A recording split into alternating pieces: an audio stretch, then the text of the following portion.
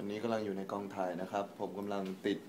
อุปกรณ์พิเศษนะครับสำหรับท่านชายอ๋อไม่ใช่นะครับ เป็นอุปกรณ์เสริมสำหรับการถ่ายทำนะครับ ก็ไว้ติดกล้องนะครับ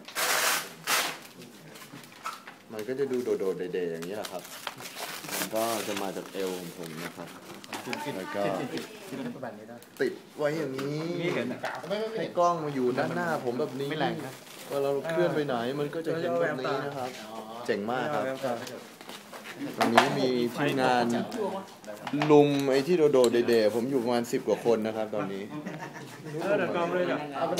แต่ก็ดีสนุกดีครับโดนผู้ชายห้อมล้อมมาสิบกว่าคนฮะว้าย